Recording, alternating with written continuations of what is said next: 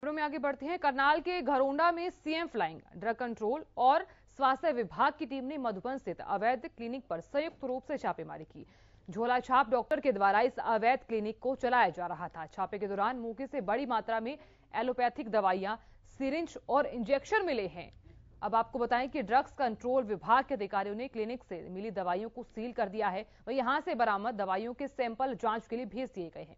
इसके साथ ही संचालक के खिलाफ विभिन्न धाराओं में मामला दर्ज कर दिया गया है, जाँच शुरू कर दी गई है।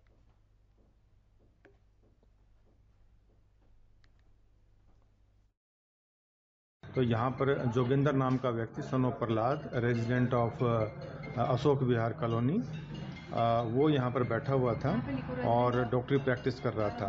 टीम ने आके अपना परिचय दिया और उनसे पूछा कि वो आ, मतलब क्या कार्य कर रहे हैं तो उन्होंने अपने आप को यहाँ का डॉक्टर और ये सारी दवाइयाँ उन्होंने अपनी बताई।